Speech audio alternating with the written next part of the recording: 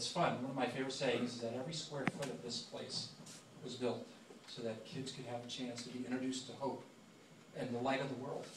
We call this cafe Christi's Light of Mine Cafe. Um, my wife's, one of my favorite, favorite songs and singing to our children while they're growing up is this little light of mine, I'm going to let it shine.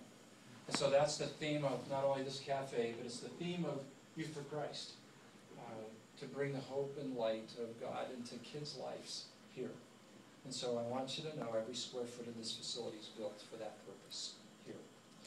Um, I also uh, uh, I want to just recognize some other people or some other companies here. They, uh, I already talked about Don and Beverly Green from DCG Development. They were very, Henne Reels was another company that was very much behind us.